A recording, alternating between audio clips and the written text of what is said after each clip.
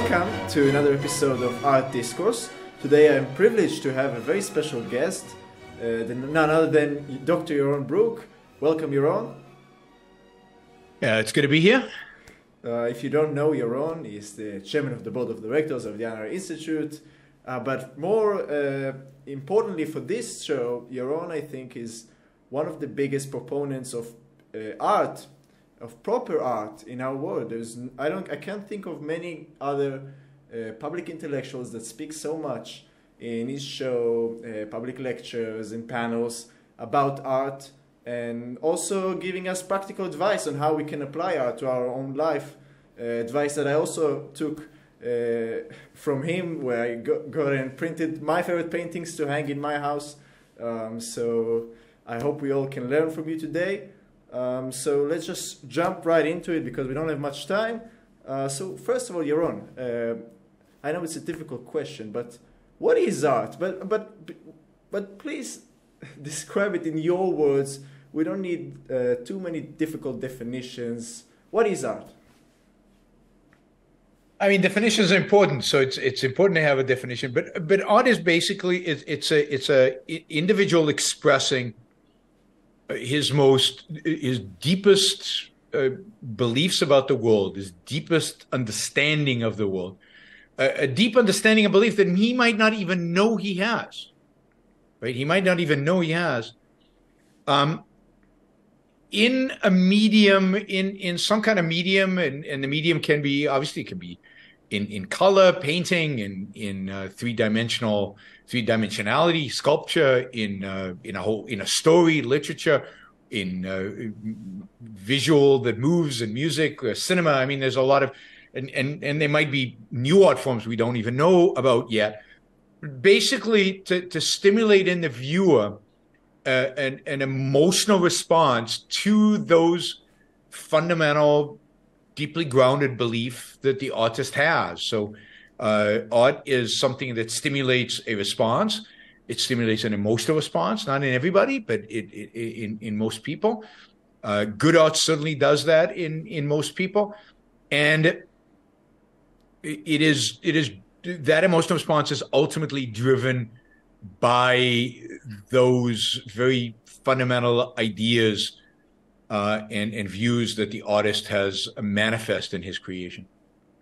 So most profoundly, you're saying art is about is about ideas. It's about ideas and also also values, right? There's well, it's dangerous to say ideas because ideas takes it to a to a particular level, because uh, you know. Uh, Ayn Rand talks in the definition of art, which is the selective recreation of reality based on an artist's metaphysical value judgment. Metaphysical value judgments are particular type of ideas. They're particular types of values and you know, for example, in in modern day today, for uh, you know, art is viewed as as almost exclusively political. Everything is political. Every piece of art has some political meaning, a political statement. But that's exact, and that's exactly the opposite of. It's exactly not the case. Real art might have a political statement, but that's not its crux, that's not its essence, and that's not the value it represents. What it, the value represents is these very, very basic ideas that we have about the world, a metaphysical value judgments, which is a hard concept to grasp.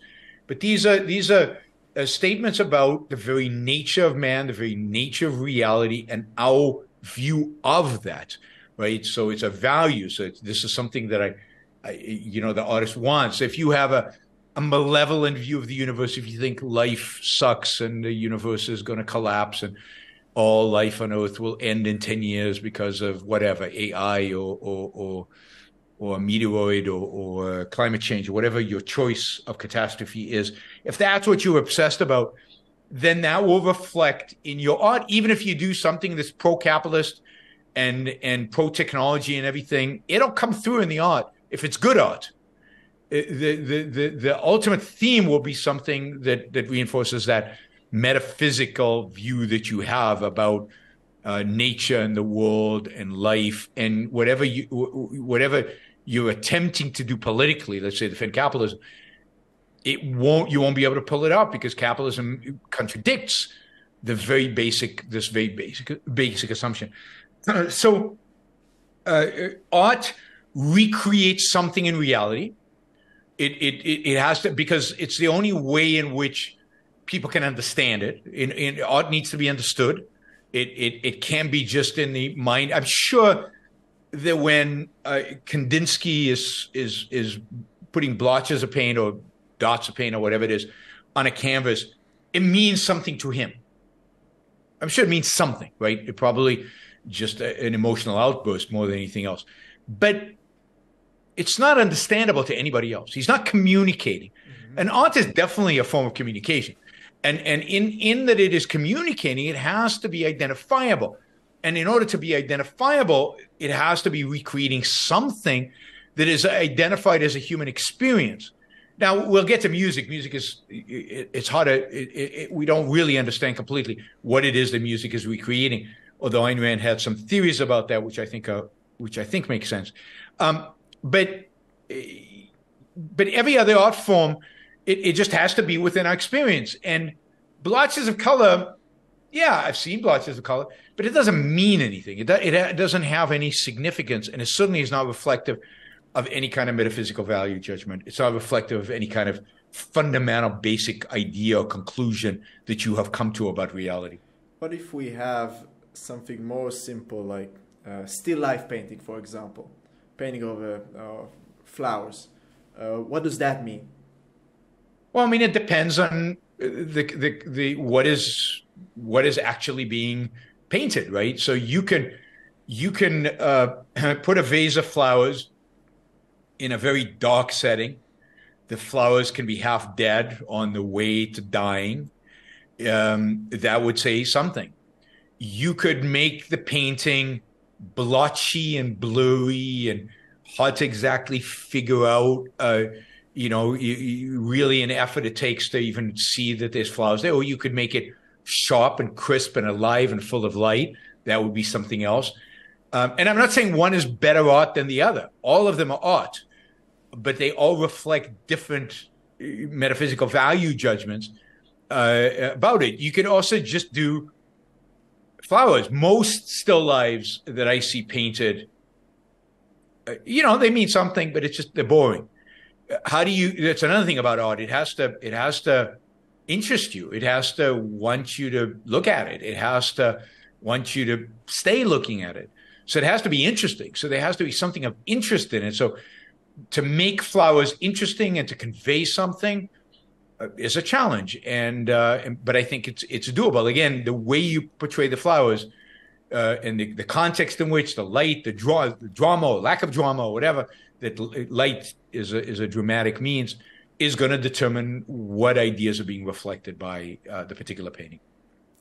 I think uh, one interesting thing about painting specifically, because I write about painting, is some works are so uh, universal, like the one behind me, for example. Everybody has a, sp- a specific uh, feeling that he feels when he sees that. Um, and I can show you maybe later. There's a very interesting picture of this painting in, a, in the museum where it's, it's hanging and there's a group of students and and you can see how they are looking at that painting everyone has his own face that he's pulling is pointing to this yep. thing to that thing um, so, so this is also about communication, um, and it, it, touches us, right? When, when we see something like that, it really touches us. How, how do we, we, we explain that? Well, I, I think I think the, the painting that is universal is going to be a painting of, of a subject that people can relate to. It ha- there has to be something there that is reflective of some uh, of the experiences that that are more universal than other experiences.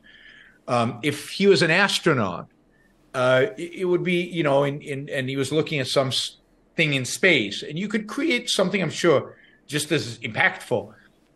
But it would be, it would be hard for people to relate to because it wasn't something they've experienced. Uh, nature, something we all experience. Man alone in front of nature, is something most of us have experienced. We know what that feels like. So it, it, it I think it, it gives it a certain universality. And then, of course, it's the genius of the artist to make it something interesting, right? Because that also gives it, if it's boring, if it's uninteresting, people are just going to walk by it. They're not going to stop and look. So in this painting, the contrast between dark and light that gives a drama that gives you that gives it a silhouette almost is something that makes you stop and look there are all kinds of if you will tricks of the trade you know ways in which uh, great artists know how to there's at least one pyramid there there's actually uh, you know triangles are very powerful uh, you know uh, uh, geomet- geometries in painting there's there's at least two that I, you know, and I haven't studied this painting, so this is the first time I'm looking at it. There's the two right there. One obviously very, you know, with the figure in it, so very dark and in the front and a mountain in the background, which is reflective of the same shape. Again, it's interesting, right? There's perspective, there's something close, there's something far. So all of that is. And also, I would add the figure, the figure himself. We don't see his face, is so yes, we can no, imagine I mean, ourselves there as well. Yes, yes. I mean, I, I was just even without even talking about a theme or about you know just just in terms of the um, the way a painting is structured is going to determine whether you stop and gaze at it and whether you don't. Uh, and and so a lot of it's universal, but it, but a lot of it also is cultural. So, for example, if you take a um, if you take a uh, Leonardo da Vinci or, or you take a Caravaggio painting of a saint or some religious scene, and you stick it somewhere. I mean, you don't put the sign Caravaggio or Leonardo da Vinci. You just put it up on a wall somewhere. Um, today, yeah, some people will stop and look at it. I will immediately say that's either a Leonardo influenced by him. I, am not sure I'd identify the actual thing, but influenced by. A lot of people stop and look at, but a lot of people just walk by it. If you'd put it up in the Renaissance, everybody would have stopped and looked at it because it was speaking to a theme and in a medium and with symbolism that related to the culture in which it was made. What makes it universal and timeless is the fact that if you learn a little bit about the context, you're blown away by it, right? You, you'll stop and watch it. But most people don't. So most people walk by it without thinking twice about it. Whereas in the Renaissance, they would have all stopped and they all admired it and recognized it. And this is the thing, recognized it as a masterpiece because they were already attuned to you know religious paintings and this is different and what makes it different so um, so the universality of it is some of it's educational sometimes there are paintings out there that are great paintings that should be universal and and, people don't respond to them because they don't have the information they need in order to respond to them. They did in the past um, because maybe it's a historical context or something like that particularly with painting which is more painting is more um, there's more of a story in painting than there is in sculpture at least some painting. Uh, sculpture there's no story in sculpture or very there are a few sculptures with stories but most sculptures you know the story is irrelevant. With painting often you need to know what's going on now not here in the in the, the painting uh, you have behind you you don't need to know anything about the story um, a lot of portraits you don't need to know anything about the story but uh, when they're multiple figures and they're clearly interacting with one another, often the story it, it, it has some significance and it adds to your appreciation of an artwork. So, so what do we have? We have um, it needs to art needs to communicate. It needs to be within reality. Um, it also uh, relates to our culture that affects how we react to it. Um, it's it, and it's all because of communication, right? You can't communicate if it's not in reality. You can't communicate if you're not using uh, tools that are culturally understood. So it really is communicate captures a lot of that, uh, and it, it, it, needs to communicate. Um, but of course, there's a lot of stuff out there that there's a lot of um, art out there that communicates, but it's shallow and and and and doesn't have any kind of deep meaning. It's it's or its communication is so in your face um, that it there's no you, you, look at it maybe it inspires you for five minutes and then every time you look at it afterwards you're bored. So i call that most of that is often illustration or just not very good art. Um, and it, it's it's just it's it's gimmicky. It's um, and and it doesn't it doesn't capture you and it doesn't keep your interest over the long run uh, one of the things that Ayn Rand talks about in her uh, writings in the Romantic Manifesto um, is the connection between art and epistemology and human cognition.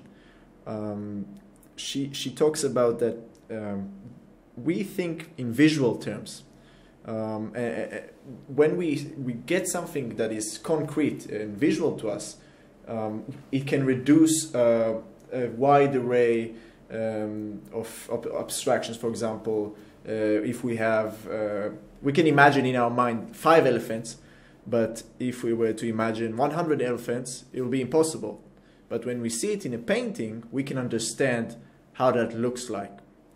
Um, so it's impossible to imagine hundred elephants. I think you can imagine can it, but you can you imagine a hundred elephants?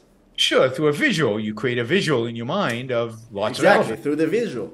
You you need and, you and, to. And there's a sense in which it's not a hundred; it's it's many, right? It's it, there's not a hundred; it's many, but it's. um I mean, what what Ayn is saying is most of our most important, not most, all of our most important ideas are are really abstract. It's not about a hundred elephants. It's about love, or it's about liberty, or it's about uh, even more importantly, it's about uh, you know the, the life is worth living, and and uh, the universe is knowable, and and A is A, and uh, you know things that are very very fundamental and yet very very abstract, and and what what it's very hard to hold that, right? You hold it in your mind as concepts. You hold it in your mind as propositions.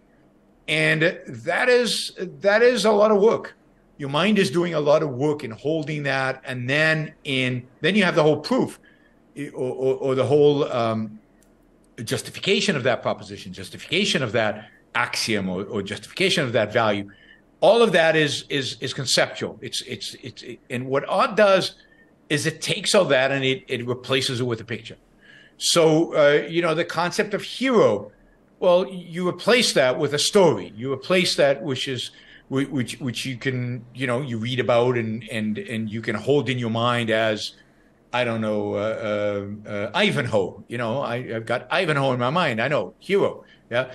Um, I, or, or in the same with, um, uh, I don't know the the the the, clarity the, the clarity of, of, of of the universe. The universe is is knowable. It's clear. It's identifiable.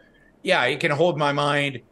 Uh, you know, a painting by Vermeer where, where, where everything is is clear and knowable and and uh, and uh, and and reflecting back to you. So, uh, what what Odd does is it it is it creates a condensation, uh, a, a, concrete for a massive abstraction, right? The role of the mind in human life. That's a massive abstraction. But once you read Atlas Shrugged, then it's Atlas Shrugged. Okay, I get it. It's it's it's it's all, it's all those characters in Atlas Shrugged and what they did. I get the role of the mind in in in in human life uh, and uh, if I have to remind myself a particular way in which it manifests itself, I can run through a particular character. Uh, and and you know, if I need an image of a determined hero facing amazing odds, I can think of a sculpture of David or something like that. So there's it, it's a it's a quick condensation um, that allows us to hold these abstractions and live with these abstractions without being overwhelmed by them. So it makes the, makes it real makes it, it makes it real. It, it, makes it real, but it it it it, it, it um it reinforces their uh, it reinforces what they mean to you. Whether they're true or not is not what's important. They reinforce what they mean to you. They reinforce your view of them, and it, it so it reinforces that, and it it it it confirms it for you not in the sense of proving them because it doesn't prove them right in that sense it doesn't make it real but it it it confirms it for you because it it condenses kind of whatever proof or whatever conviction you have around it in something concrete that you can actually see. Okay so let's move to another chapter in the romantic manifesto uh, which deals with the uh, sense yeah. of life. Um, sense of life is for me has been uh, I'm still trying I think I'm still trying to figure it out. Um, uh, and it plays a big role um, in art.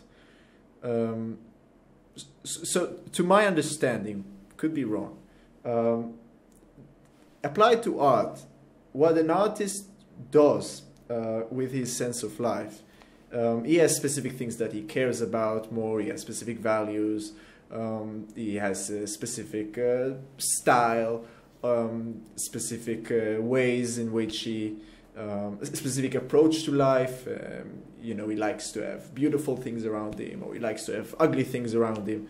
All of that manifests into a canvas or um, a piece of marble, and that is art is the manifestation of that of, of his it's essentially an art is the artist himself he's showing us the most candid uh, personal image of his own um, conscious I mean, it's it's it's something like that, but it's look. A sense of life is a uh, is the almost emotional but it's it's it's a it's a, a, a, particular state of consciousness that you have that that is underlies everything that you do and underlies uh, your style, the way you deal with the world, and the way uh, you uh, you interact with the world out there, uh, and the way, in a sense, you interact with yourself. It's the kind of the, the, the conclusion of given the values that you've chosen, given the metaphysical values that you have, it's the kind of personality and character that is the result of that. And it's the manifestation of that. Uh, so it's not something that you consciously work on. It's something that is the consequence of all the things that you might have consciously worked on or not consciously worked on. And and therefore it's it's it's a consequence of somewhat accident. And to some extent it is going to be a consequence of accident because a lot of it is a sense of life. A lot of it is a consequence of of things that we experience and conclusions we come to when we're young. And and we can change it but it's not it's not easy. Um, and then what artist does is uh, an artist in that he is in that he is um, uh, painting based on his metaphysical value judgments. That is, that what is reflected in the art. Uh, those metaphysical values are, are, are um, molding and shaping his sense of life. So his, the art reflects his sense of life. The art is an expression of the metaphysical value judgments, which operationalize, in a sense, in in uh, in the sense of life. And every artwork has a particular sense of life. You and the way you respond to an artwork are responding based on your sense of life. Again, based on the conclusions you have come to about the world and about the metaphysical value judgments. Uh, and um, yeah, that so it's the interaction between your sense of life and the artist's sense of life, which which you get. What you get is the emotional response that you get. Is is it always the case that a, a, work of art represents the artist's sense of life, or it could be that it doesn't represent it? I think to some extent or another, it always represents a sense of life. Because I'm thinking like paintings of someone like Adolf Hitler. Um, I know uh, he had uh, very ugly, but you know, realistic, boring, banal paintings. Doesn't look like a painting by Adolf Hitler. A guy who was, you know, was a monster yeah, but are they? They're not particularly good paintings. I mean, that's the point. You know, anybody can. Anybody can. Anybody with a little bit of skill can paint something on a canvas, and but to be meaningful and to and to to to to, to really be substantive as a painting, it has to reflect a, a sense of life. So not everything that everybody paints is a reflection of sense of life. Okay. If I if I scribble something on a piece of paper, it's not a reflection of my sense of life. Partially, it's a reflection of the fact I can't paint. Right. So uh, you know, and, and I do think you can say that. Uh, well, I don't think you can read anything into bad art. I don't think you can read a lot into bad art. Bad in a sense that just boring, banal, um, meaningless. It, it yeah, it, it, it's if somebody goes to art school and they paint because the teacher told them to paint a particular way, you can't read anything into that in terms of their sense of life. Yeah, yeah, I see that. Um, okay, so so now let's talk about the inherent selfishness of art. we consume art on our own, almost unless we go to movies with someone. But when we we experience a painting, our experience with the painting is entirely our own. Also with the movie. Um, and you were talking in one of your panels with uh, Onkar uh, about um, there's a sense of duty that you have to go to a museum and see all the all the artworks. Yeah. Um, yep. And I, I, for example, when I go to the museum, I skip all the. I don't like the uh, the medieval art, for example. So I go right into the type of art that I, I want. But most people they have to go through this. It's exhausting. So maybe you can elaborate on that. Yeah, I mean, I think I think we all, uh, you know, art is to be experienced. It's experienced as a, uh, you know, as a as a personal. It's a personal experience, um, and uh, there's an immense selfish pleasure that one can get uh, from experiencing great art, uh, and you know, particularly when you're new to art, it, it, it, it you know, art can be over, it, it can be overwhelming because you know people talk about museum fatigue. And and the primary reason for museum fatigue is that all of this art is impacting you even if you don't know it's impacting you. It's it's it's it's it's doing something to your subconscious. It's doing something to your emotional state. And when you're overloaded sensorially when you've got so much going on you experience so many things you get fatigued it's it's it's exhausting and and you don't know why exactly but but it's because there's of walking consciousness also is exposed to a lot. There's a lot of work going on in in in your head to to deal with all of this. So. Uh, so you know, I, I, I tell people focus on the things that you love, find the things that you love, you know, and, and go straight there. But right, as as you mature in your art appreciation, or as you know more about art, or as you know you you know more about what you like eh, or, or don't like, it, it makes a lot of sense to try to understand and to expand the things that you like, right? So, for example, you know, there's a lot of there's a lot of art that you need context in order to fully appreciate.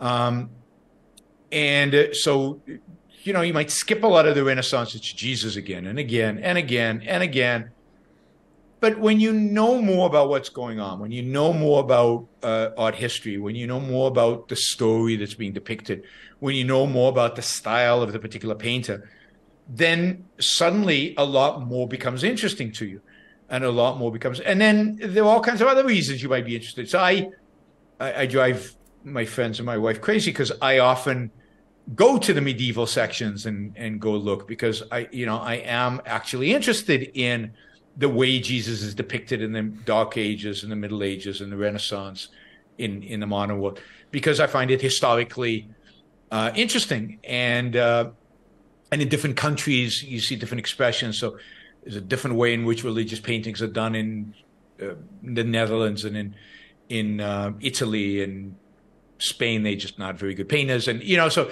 it, it, it's interesting to actually go and and see this stuff and and uh, whenever you see, you know, often when you see a really good painting from that, particularly from early on in Spain, it's almost always an Italian painter who came to Spain to paint. Oh, really? Because you know, later they have good, you know, they have uh, Velasquez and, but uh, but but there's a lot of so trying to understand, you know, like people, most people will walk by, you know, the Da Vinci and go, yeah, okay. Or, or, you know, there's a joke around the Mona Lisa. Why does everybody go see the Mona Lisa? It doesn't you know, but the Mona Lisa is a, a, a brilliant painting. It, it is a magnificent, you know, it's a true masterpiece. But I'm not sure just a casual viewer could look at it and see it's a masterpiece. You have to have some background info. So over time, it's worth expand. And plus, when we're young, we often like paintings that we outgrow in in a sense that uh, they might not be as complex, or they might not be as interesting, or, or we might develop a, a, a finer aesthetic.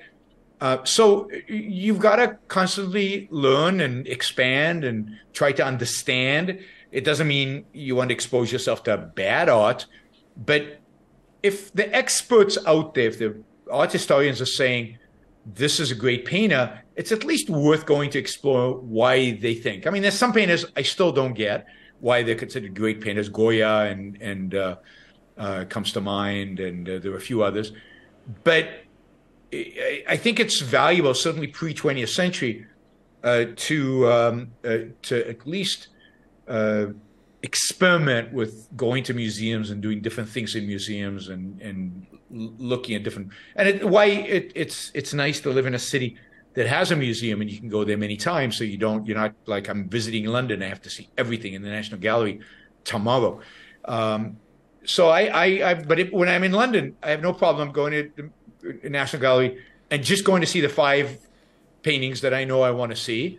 And then sometimes uh, like a few years ago and i did a show on this i actually went and started with the dark ages and just did the whole museum. I did every single painting in the museum and it was fascinating to see the progression of art. Like you got art history, and you got this, you know.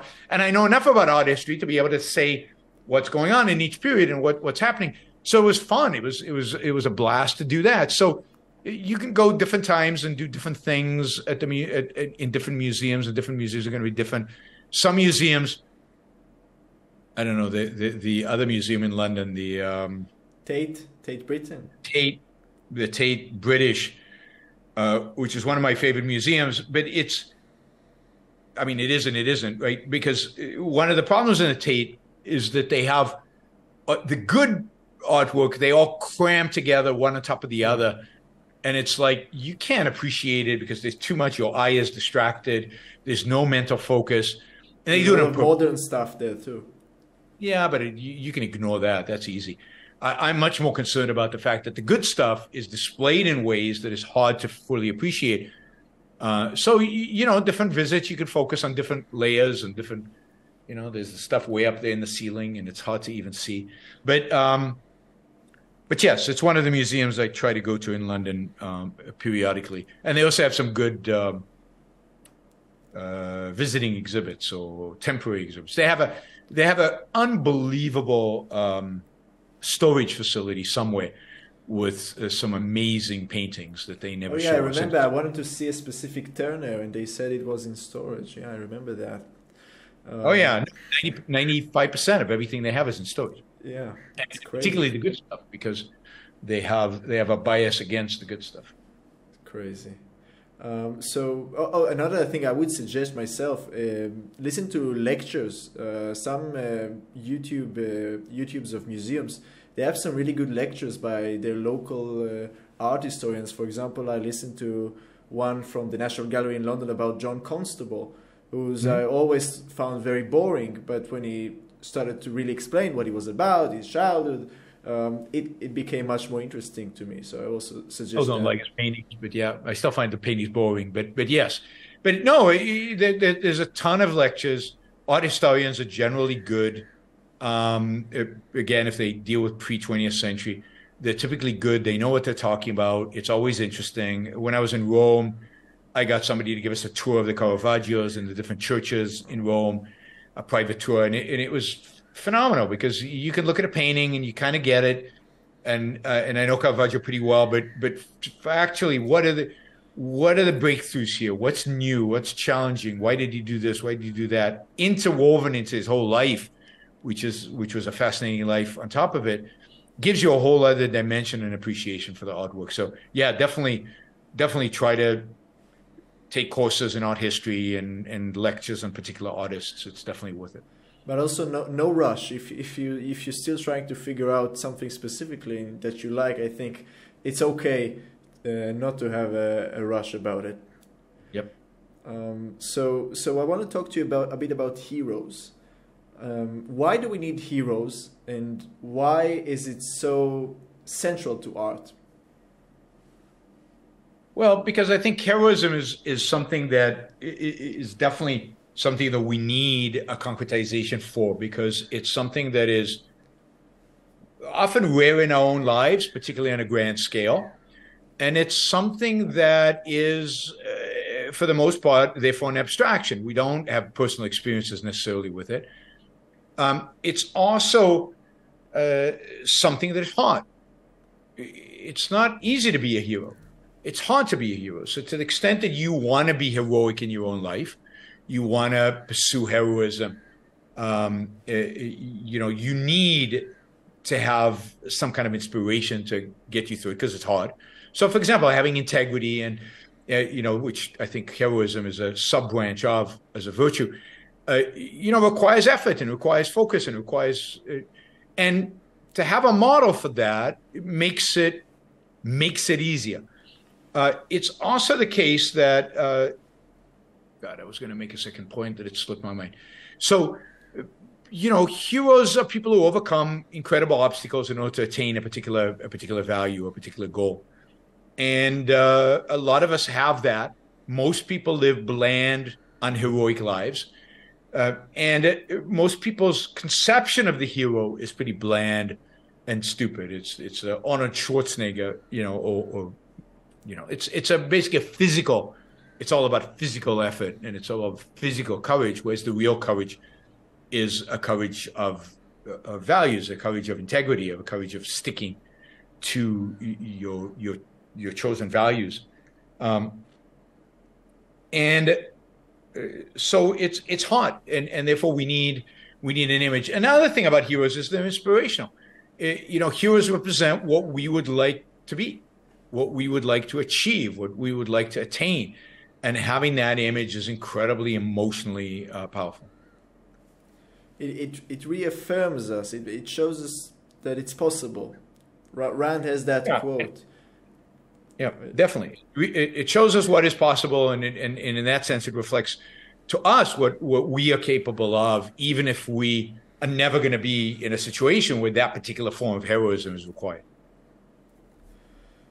So let's talk about beauty. I know uh, it's a it's a big subject, uh, but it, for me, it's of paramount importance. I try to. I, it's an advice I think I took from you. I try to surround myself with beauty wherever I am uh, also with what I'm wearing, with my house. Uh, for example, now I made a, an historical move from Android to iPhone. I can I can now also do that, and and for me it was uh, stealing my iPhone gig. Yeah, everybody's taking that. Um, so I for me I'm still bewildered by that. It, it's so aesthetic. It's so beautiful, and everything uh, for me is just it's it's improving a lot of things for me. Um, so just it's a small thing, but it shows. What is it about beauty?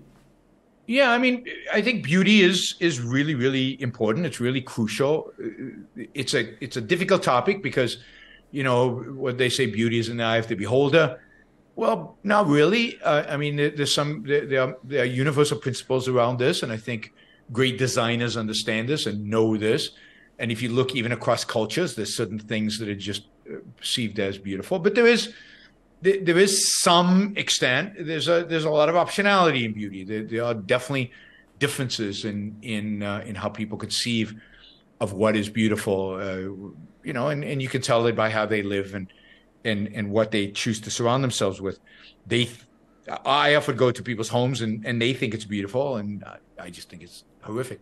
Um, part of it is second-handedness. Part of it is trying to be like everybody else or impressing people. There's a lot of reasons why people do what they do.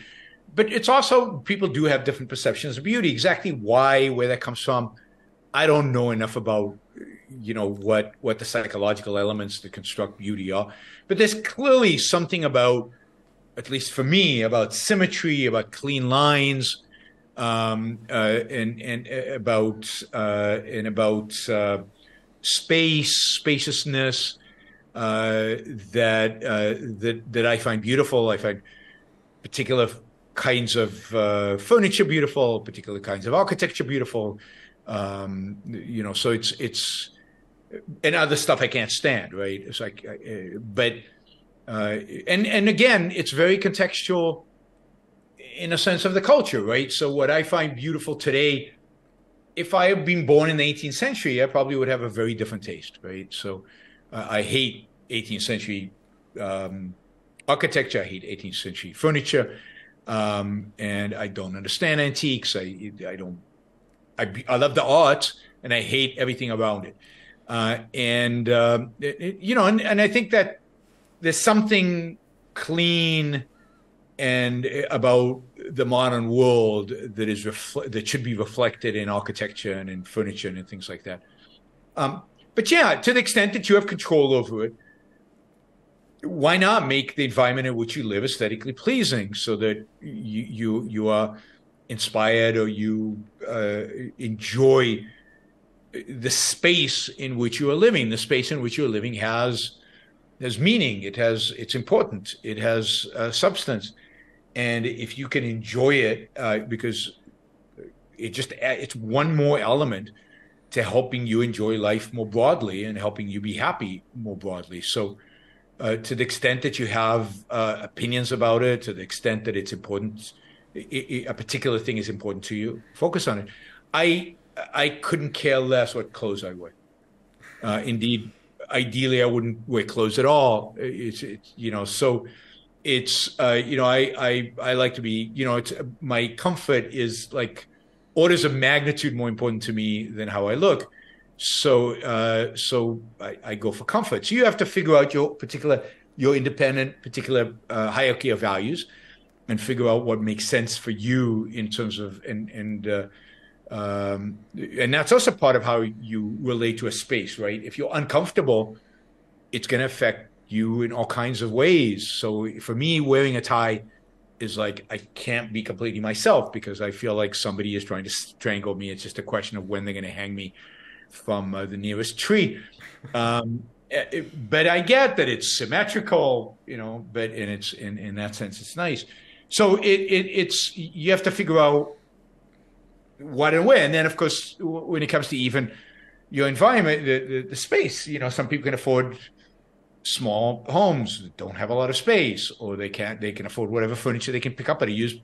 You know, I've been there, I've done that, I've lived that life. But even then, uh, you know, the furniture that I we brought home for whatever used uh, uh, store, used furniture store was always. I mean, we look. I if you look at the forty years I've been married and the kind of furniture we've had in every single place, you'll see a theme. There's definitely a theme to every sofa we've ever had. There's a theme to kind of the way we set up our rooms. There, there are themes that carry through the different periods. Um, but that's me, right? Those are the things that are important to me. I would only add that uh, I think uh, it's a false dichotomy between comfort and beauty, uh, but I, I, can prove it to you later. Um, so let us talk about uh, the sublime. Um, I, I haven't spoken to you about it, so maybe you don't have uh, anything interesting to say about it. But for me, know yeah, uh, that's what I thought. So for me, it's a it's a big deal because I like 19th century German paintings. So I go to, for example, I was in uh, Leipzig in uh, Germany last week, and they had a very beautiful art museum there. Um, a lot of paintings about, about, similar to this about the, the greatness of nature, uh, you know, things like that. What do you think about that? About German painting or about about the sublime as an idea in painting? I mean, I think the sublime is uh, is a um, yeah, I mean it's a it's a it's a fantastic uh, something to express in a painting. Whether nature is the only way you can do it, I'm a little skeptical. Um, I'd have to think about what the sublime means, but I, it doesn't strike me as it requires beautiful nature. Um, when it comes to na- na- paint- paintings of nature, I prefer the Americans to the Germans. Um, they they were taught in Germany, the American ones. Yeah, I did learn their style, but then they cho- what they chose in terms of their themes is is grandeur and and um, and drama um, that I think they think that you know Bierstadt and people like that achieve these magnificent magnificent effects. Um, but um, what is the sublime? I don't know what the sublime is exactly. I mean, it's it's, it's usually just, about God. The, the notion that uh, there's something greater than man in that sense it's a negative idea but it also i think yeah but i don't think it has to be greater than man it's just that there's that there's a grandeur to the world that there's a grandeur to man and to the world and uh, and that uh, you know w- we can and have the potential to achieve that kind of grandeur um, that it's that it's attainable. I think that's a, that's what a rational view of sublime uh, would be. And i think a lot of paintings a lot of the great paintings have that. It, it, it, you know, the theme has to be something that transcends just a, a particular story or a particular narrative. It has to be something grander and bigger than that. I certainly think, although I don't know how you would prove this or you would show this, that a lot of music is definitely reflective of this. Right. Yeah. Wagner, uh, for example. Sometimes, yeah. But I think a lot of music. I think uh, a lot of the romantic music achieves that. Um, you know, when when when yeah, when the Rachmaninoffs and the Tchaikovsky. There's a sort of sublime. So I don't think it necessitates a God, but it does necessitate kind of the sense of grandeur of, of the world, of, of, of uh, nature, and of oneself. So now let's move to more personal uh, issues. Um, I want to ask you, you yourself, you you're a PhD in finance. You talk about economics, about uh, politics, about uh, I don't know. What does that have to do with art? Nothing. um, I mean, art is not something that. Uh, so I think everybody should be interested in art. So uh, I, I, don't consider myself having any kind of special anything with regard to art. I, I just have identified that it's something everybody should should take a serious interest in, and I do. I, I think a lot of other people don't or don't identify it or don't are not known publicly to have identified it. But I don't think I'm unique in any regard. Um, I, I, think everybody should have an interest. Doesn't matter what you do, you, as long as we all hold uh, abstract concept, as long as we're all human, really, as long as we're all human. Art is a need. Ayn Rand describes it as a need. It's like food. It's food for the soul. It's food for your character. It's food for your mind. So uh, I think everybody should be engaged in it and should be uh, interested in it. I talk about art because I like it and because nobody else seems to. Not so much because I feel like I'm qualified to talk about it, because I'm probably not, but it, it's or, or less qualified than many others. I, I wish more people were talking about it. It, it. There's so much to say, and there's so much to do, and there's so much to think about it, and there's so much to experience of it. Um, you know, I've taken it seriously for years. So um, I, have read books, I've listened to courses, I've uh, traveled all over the world, going to art museums. I've taken tours. I've so I've, I've, just experienced a lot of it. So I have a lot of experience. But beyond that, I'm not an artist. I can't paint. I can't sculpt. I can't write music. I have, I'm completely incompetent when it comes to any art form in terms of production. So I'm stuck with liking it and um, and uh, learning as much as I can about it, and that's what I've done. I've done that for for when did I start? Probably, you know, 42, 40, 41, 42 years ago. Let's talk about music. Um, I, know it's also a big deal for you. I myself, I consider I don't know much about music. There are some works that I really like. I listen to a lot of music, but I don't know. I don't know much beyond that. Um, so a, a bit about music and also perhaps some tips on how to start listening to classical music. Yes, again, I don't know anything about music. I can't read sheet music. I don't know what a chord is. I don't, you know, just, the basics. I do not know. Right? I, I know what I like, and I know I know I know a reasonable amount about about the the history of music because I read some books uh, about the history of music, which I found fascinating. Again, I find it interesting to connect the history of music with history. I think those relationships between the history of art and history, what's going on in the world at the time, is fascinating. So I, I find that all interesting. So I, I, I read about it. Um, I think music is, of all the art forms, the one that can evoke the strongest emotions and, and can evoke them and, and evokes them directly. It, it doesn't require any kind of mental effort. It, it requires uh, some focus, particularly when you're talking about classical music. It requires some focus, but focus exclusively on the music, not on interpreting it, not on understanding it, not on what happened before, not what happens after, but just being in the moment and really, really experiencing it. And I think that's what's really, really necessary to have a deep, under, deep appreciation of music. Most popular music is not intended is intended for instant gratification. It's int- it's candy. It's it's sugar coated candy, and some of it's sugar coated poison.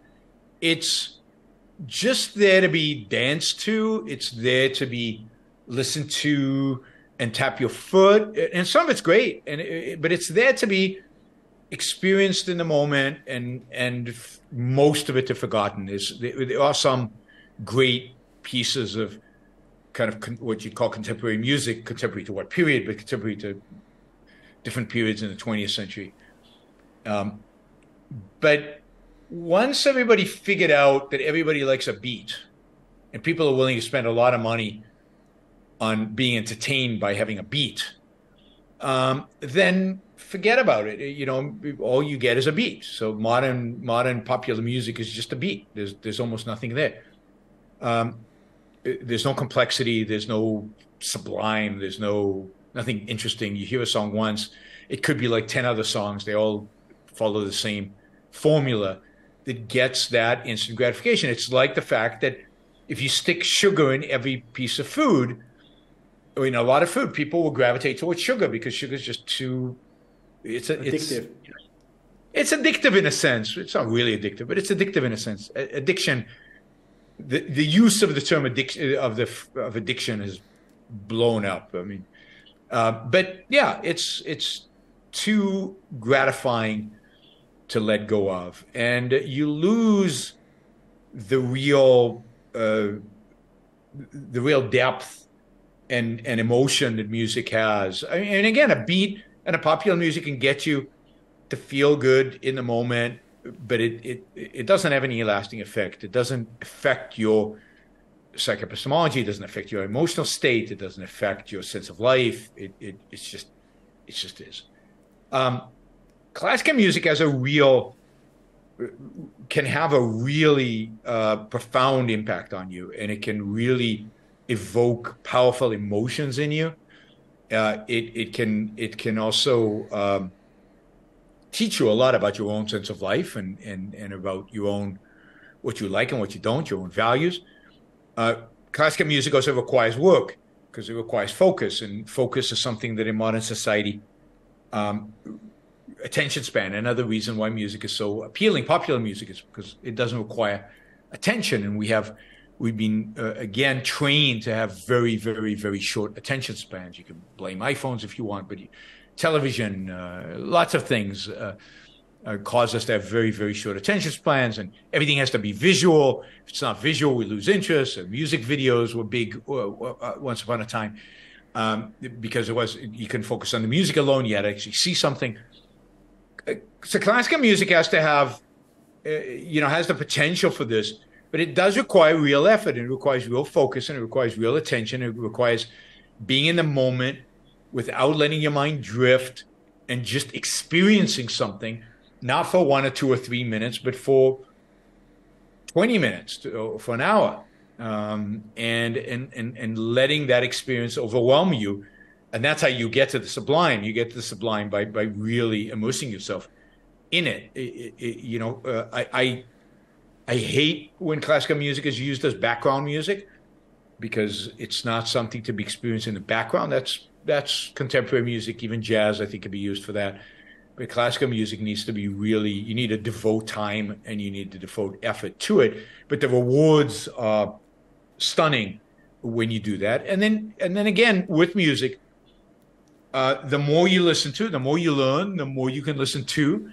Uh, the you can, you, you know, you can start out by finding, I don't know, um, Wagner very, very difficult to listen to, but you can train yourself, and by listening to other composers, ultimately it makes Wagner easier. Um, you can find you can start out by listening to Bach and thinking, what's there's nothing there. But as you learn more about music, you find that you can appreciate Bach. I don't think he'll ever rise to the level of Beethoven, but you can appreciate him. Uh, the same with the same with a lot of the great composers. Again, uh, if you read a history of um, if you read an history of, of music, the people who are identified as great composers are probably great composers. There's probably something there that makes them great composers aesthetically. So whether you want to figure it out or not is up to you, but it's it's there's there's value in figuring it out why they're considered great, it expands your your your breadth in terms of the music, even if you never fully enjoy them. Um, the only period in which I think the historians of music are too dismissive, and this is true of painting and sculpture as well, is the 19th century where there were so many great composers, so many great painters, so many great sculptors that it's easy just to focus on a few names and dismiss everybody else, even though the second, third tier sculptors and painters were better than first tier sculptors and painters in maybe any other era. So the 19th century, just there's so much. There's so much literature. There's so much painting. There's so much music. There's so much art generally. It's just this explosion of great art. And actually, there's a great lecture there about connecting that to capitalism and the Enlightenment. And the, maybe I'll do that one day. Oh, it's a good idea. Um, oh, I have a suggestion, by the way. If somebody is interested to expand his uh, music uh, uh, playlist, what I do, for example, is, uh, for example, I like Rachmaninoff's Second Piano Concerto. I go to ChatGPT and I tell him I love uh, Rachmaninoff Second Piano Concerto. Recommend me uh, other works that uh, could be similar to that, and he gives you a whole list of great uh, works. So it's not hard in classical music because there's so much. There is so well, it's much. difficult to pick from so for so much. It makes it not anyway. You know, there's so much. It's it's. But yes, I mean, if you can use ChatGPT, that's great.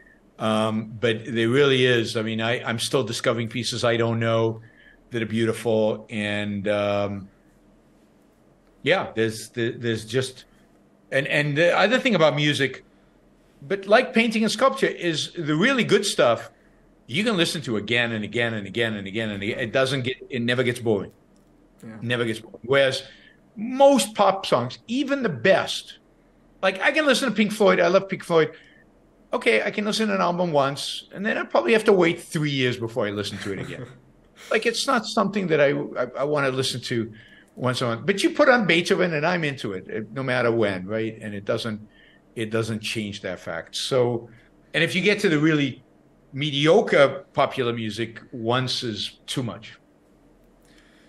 So, so let's end with your favorite paintings. Uh, one of your favorite paintings and one of your. I have a lot of favorite paintings. I don't have strong favorites. I have a lot of favorite paintings. I mean, I mean the painting right back there, the the astronomer by Vermeer is one of my favorites, and uh, as is the even more, and I like even better is the geographer, which uh, is harder to find.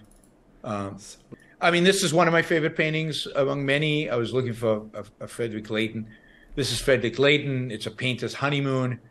Um, it's just, I, I, I, think it's a, it, the whole organization of the painting is to focus you on a triangle. Again, there's always triangles in great paintings, right?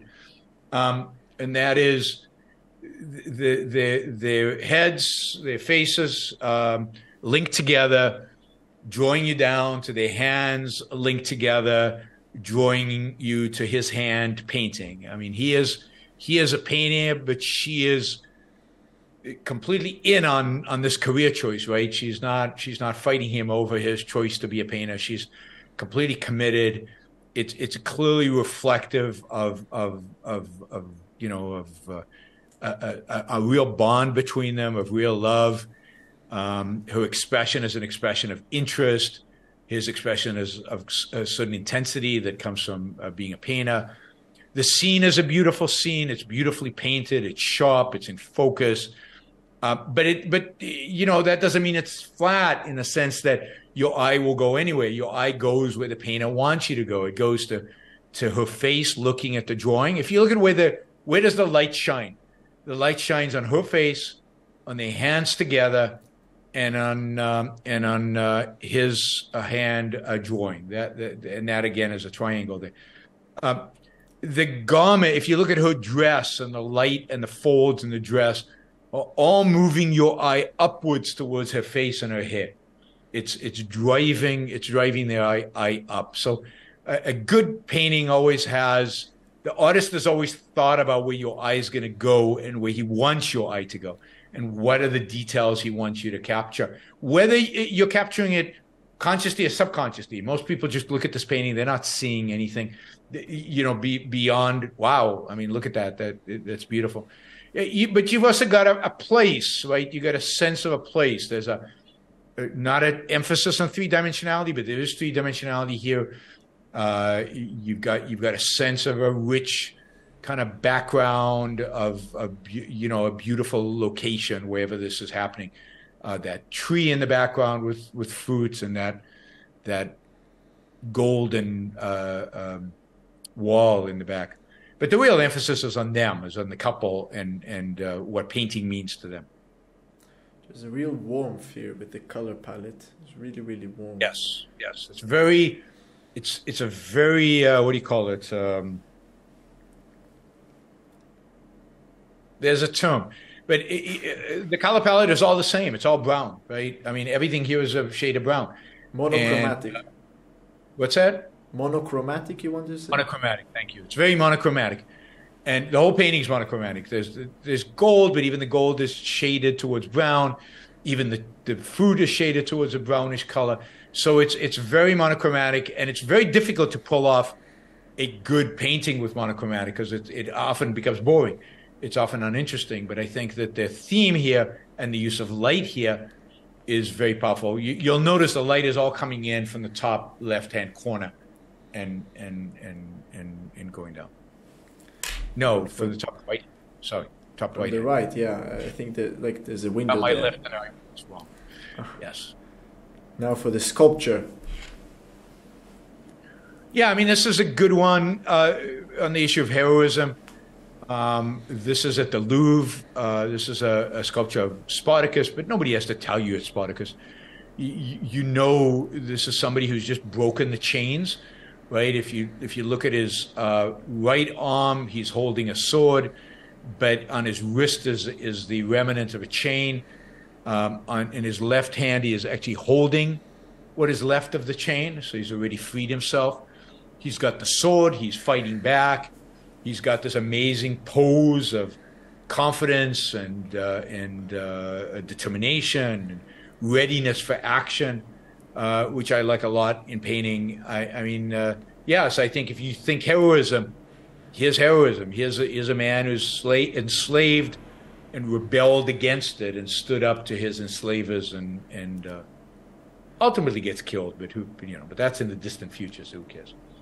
And it's not in the sculpture, right? The outcome is not in the sculpture. I like the. I, I'm thinking of the the guy is looking at. Is going to kick his ass like he's going to yeah. conclude. Yeah, and there's a lot. There's a little bit of similarity here to Michelangelo's David, um, in in terms of the the look and the, the angle of the head. Um, there's there's actually another copy of this that I just recently discovered is in another museum, I think in France.